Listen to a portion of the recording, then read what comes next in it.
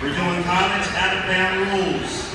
College out of bound rules. What that means is, as long as one, uh, as long as one body part is still inside the circle, then we're still wrestling. So scoring can still occur, back points can still occur, but pins will not.